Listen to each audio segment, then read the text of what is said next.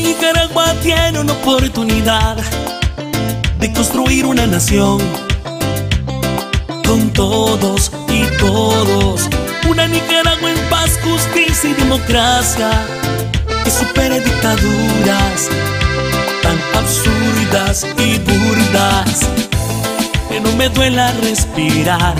Un país tolerante en que tú puedas expresar y escoger tu futuro. Sin justicia no hay paz, no hay progreso social, democracia ni justicia. El poder es mi voz, sin justicia no hay paz, no hay progreso social, democracia ni justicia. Y no te olvidaremos, el poder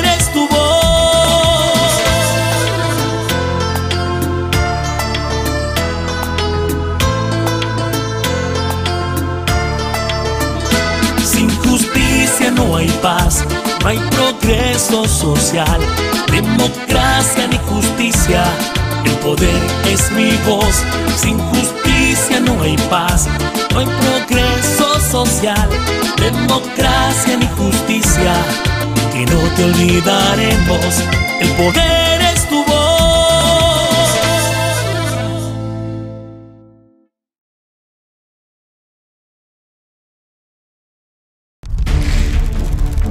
Somos el medio de comunicación de mayor referencia en el occidente de Nicaragua. Informate en Radio Darío en los 89.3 FM en nuestro sitio web y las redes sociales. Radio Darío renace de las cenizas, innova y se transforma en el contexto histórico por la libertad de prensa y expresión en Nicaragua. Noticias más importantes de la vida social, política y económica están aquí.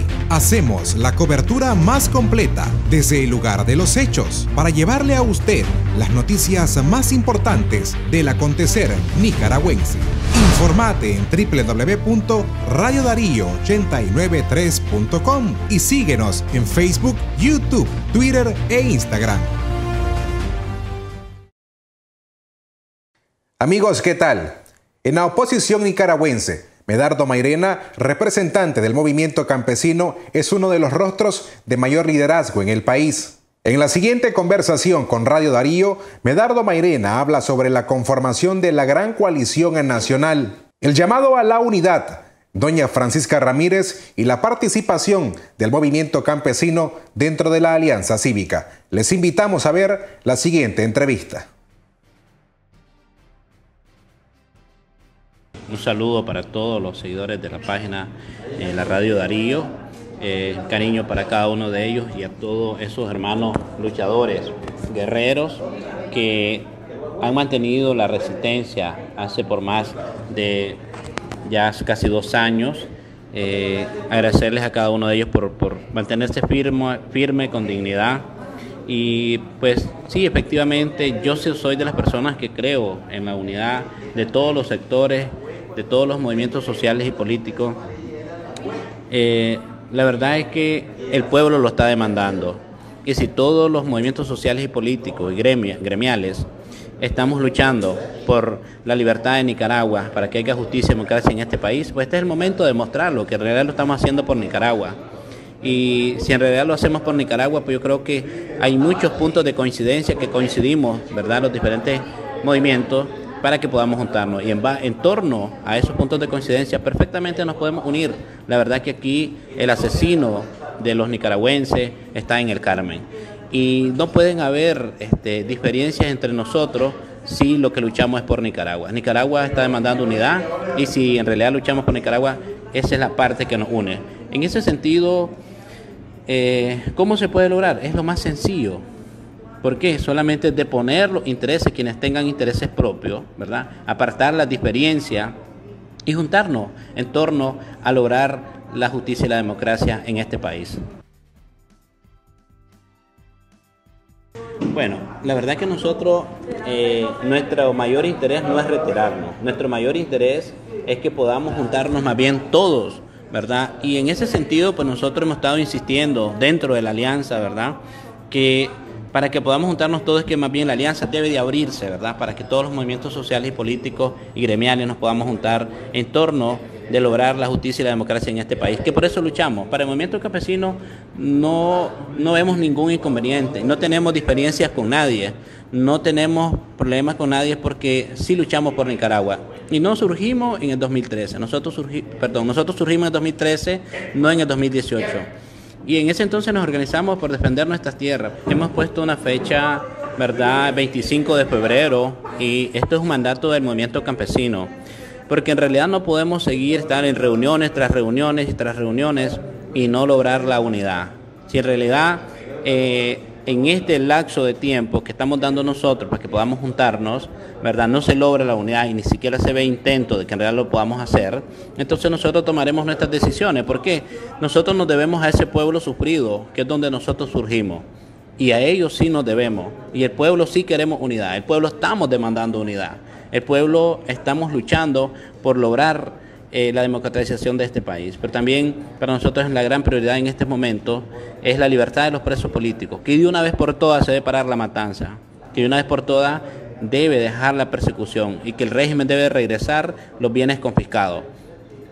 por ejemplo, los medios de comunicación independientes que fueron eh, confiscados por este régimen. Y así sucesivamente, todos los bienes confiscados deben regresársele a sus dueños pero también eh, nosotros hemos dejado claro a la comunidad internacional que no vamos a aceptar unas reformas electorales habiendo preso político. No vamos a aceptar unas reformas electorales sin que haya parado la matanza, sin que haya condiciones en este país para que puedan pasar unas reformas electorales mediante una negociación, mediante un diálogo. ¿verdad? Porque este no es un problema de un, de un partido, este no es un problema de un movimiento, este es un problema de todos los nicaragüenses. Todos tenemos que asumar aportar para el cambio de este país. En ese sentido, las condiciones que deben de haber eh, son las que ya te mencionaba. Libertad de preso político, eh, de una vez que debe parar la matanza, debe parar la persecución hacia los liderazgos, que nos permita, porque si estamos hablando de unas reformas electorales, eh, estamos hablando de un proceso electoral.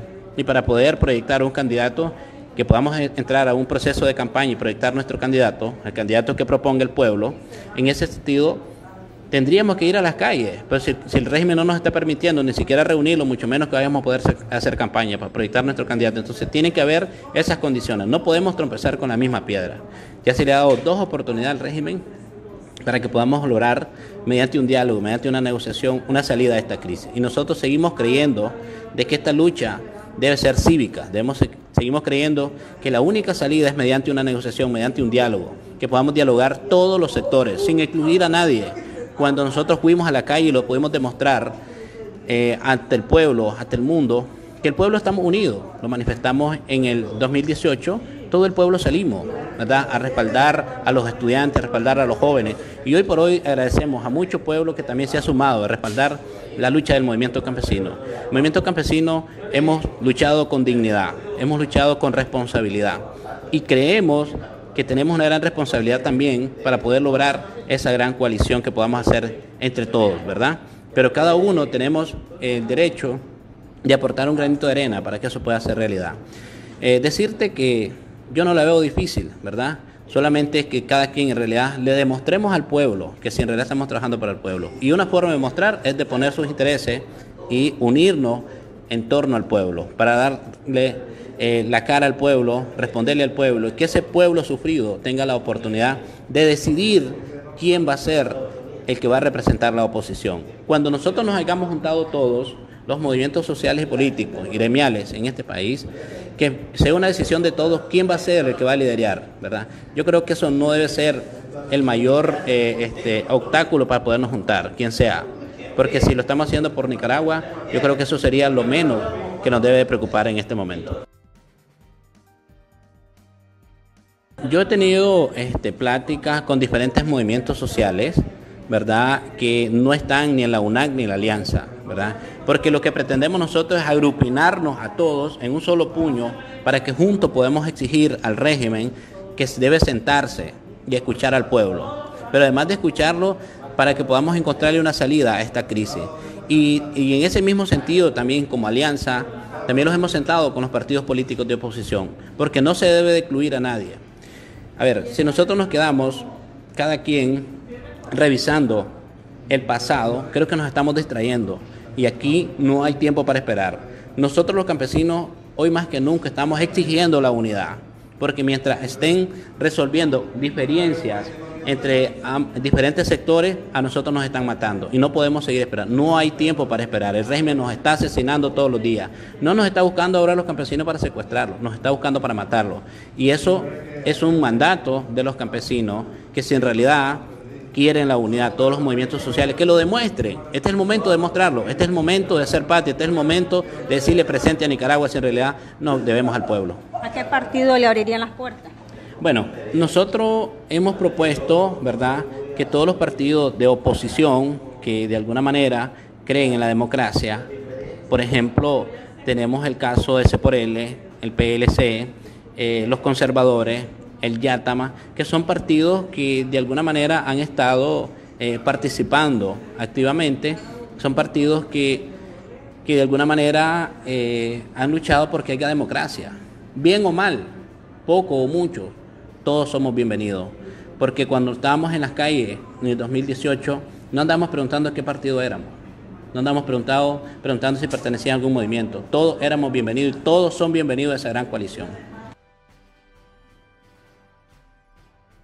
Bueno, doña Francisca siempre ha sido del movimiento campesino. Yo creo que esto es muy importante aclararlo porque a veces, a veces somos buenos los nicaragüenses para especular.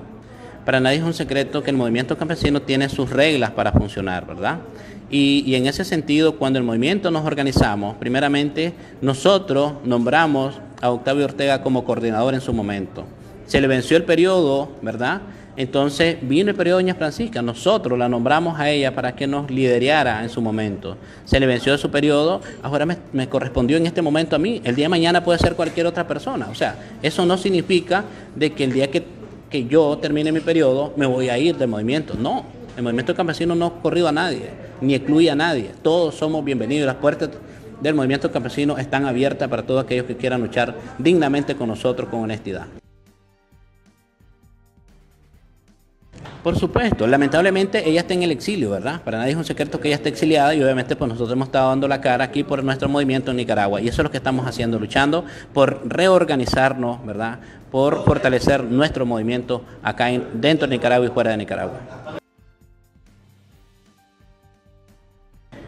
Bueno, pues es lamentable lo que el régimen está haciendo porque, a ver, Ortega ha venido asesinando de, en la vez que los 80, eh, más de 50 mil muertos. Posteriormente eh, vino de manera selectiva asesinando a todos aquellos comandantes que fueron de la contrarrevolución en aquel entonces y muchos comandos de en ese entonces que depusieron sus armas porque hubo un acuerdo, los acuerdos famosos en Esquipula, ¿verdad? Donde eh, se dijo cese al juego y todos aquellos creyeron de que en realidad ya la guerra había pasado. Depusieron sus armas, se fueron como campesinos a trabajar la tierra, a crear su familia, pero sin esperar de que en realidad el odio de este régimen no había pasado, no había terminado. Y de manera selectiva fueron asesinando hasta el extremo de este momento.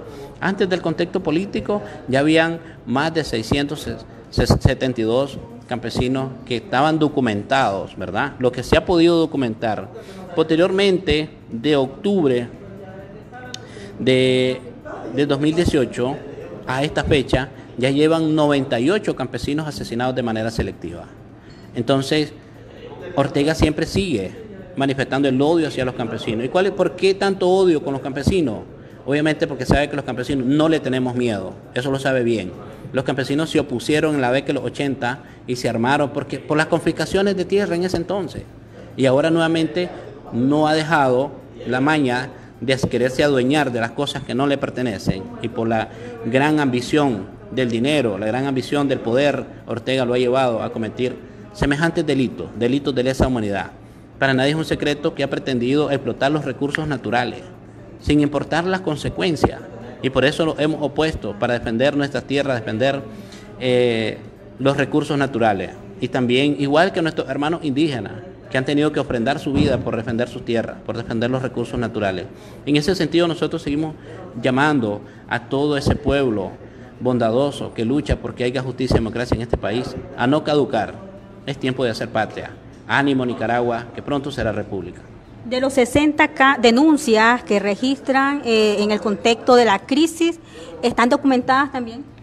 Mira, eh, nosotros eh, hemos estado documentando de una manera, este, a través de testimonios de familiares que les han arrebatado sus seres queridos, ¿verdad? déjame decirte que no los hemos podido documentar todos por, primero, porque ellos mismos han han este, amenazado a muchos campesinos y dicen, oh, si vos salís a denunciar, te toca a vos, ¿verdad? Entonces, es una amenaza para que ellos no salgan a denunciar, pero yo les digo a cada uno de ellos que no nos quedemos callados, no nos podemos doblegar ante un régimen, tenemos que denunciar todas las violaciones de derechos humanos y este régimen tiene que responder por tantos delitos, por tanto eh, daño que le ha hecho a este pueblo sufrido. O sea, muchos antes participaban de alguna manera en los partidos políticos de oposición, ¿verdad? Otros que participaron de manera activa, ¿verdad? En este proceso de la rebelión, como son las marchas pacíficas, como son los tranques, que de alguna manera sirvieron para salvaguardar la vida. Entonces, por esa participación de manera activa, obviamente han sido perseguidos eh, y es así como han manifestado el odio hacia las demás personas. Bueno, aquí hay un solo responsable de todo el sufrimiento de Nicaragua. Se llama Ortega, Ortega Murillo, porque ellos son los que han dado la orden a los militares, a los paramilitares, para que asesinen al pueblo, para que amedrenten al pueblo, para que el pueblo eh, se sienta sumergido. Pero en realidad yo creo que se sigue equivocando. El pueblo no nos vamos a rendir, no vamos a dejar de luchar hasta que consigamos esa gran unidad de todo el pueblo nicaragüense y podamos lograr la justicia y la democracia en este país. Pues eh, decirte que el aspecto que ha hecho es que lo hemos podido este, denunciar a nivel internacional, ¿verdad? El aspecto que ha habido es porque la comunidad internacional está clara porque ellos vieron con su propia vista en el 2018 cuando estuvieron aquí en Nicaragua cómo asesinaban a los jóvenes, ¿verdad? Y ahora eh, nos dan la razón que los campesinos no nos vienen asesinando en 2018 para acá, ¿verdad? Entonces, para nosotros es un logro que la comunidad internacional, que los organismos defensores de derechos humanos internacional sepan cómo han venido asesinando a los campesinos desde hace rato.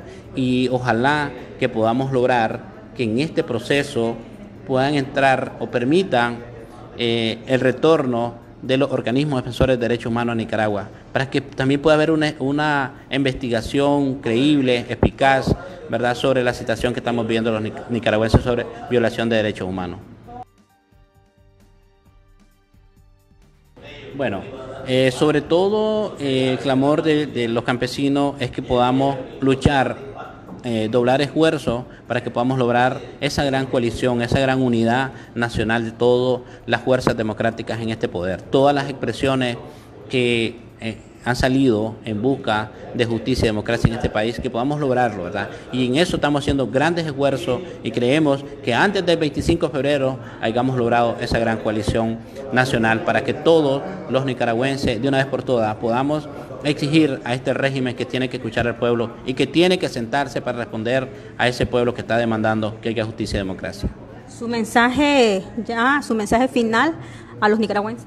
Bueno, eh, decirles que no caduquemos, que continuemos nuestra lucha firme, con dignidad, que continuemos organizándonos, porque si estamos organizados podemos salvar vidas, porque es así como nosotros podamos estar pendientes de nosotros mismos, cómo podamos luchar juntos de alguna manera para evitar esa matanza que el régimen está haciendo hasta este momento. Decirte que es muy importante la organización, que es muy importante la unidad, que es muy importante que todos nos sumemos a ese gran esfuerzo, ese gran esfuerzo que hemos hecho desde hace muchos años, luchar por la libertad de este país y hacerlo con, con responsabilidad, ¿verdad? También agradecemos a la diáspora en el exterior que de alguna manera han luchado o han apoyado, respaldado nuestra lucha, ¿verdad? Y también han respaldado a nuestros hermanos en el exilio sobre todo, ¿verdad? El nuevo exilio, por así decirlo, porque lo, la diáspora en el exterior son los que fueron exiliados en la década de los 80, que también por la misma persecución de este régimen que en ese entonces estaba en el poder, y ahora que regresa el turno, ha mandado al exilio otra gran cantidad de nicaragüenses. Gracias por apoyar a nuestros hermanos de lucha, decirles que no los dejen solos y que seguiremos luchando desde aquí adentro de Nicaragua por la libertad de Nicaragua, para que pronto también ellos puedan regresar a este país y los recibiremos con los brazos abiertos, no como el régimen en este momento los espera para asesinarlo, lamentablemente.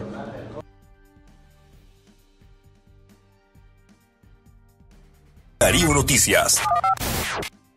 Así llegamos al final de esta edición informativa. Como siempre, nuestro agradecimiento para cada uno de ustedes por la sintonía prestada. Les invitamos a que también se pueda informar a través de nuestro sitio en la web www.radiodarío8913.com. Ha sido un placer informarles. Se despide de ustedes Francisco Torres Tapia. Darío Noticias. Sistema Informativo Darío Noticias. Vamos a continuar con la información porque la Darío Noticias, la manera más eficiente de informarte. 893, calidad que se escucha. Darío Noticias.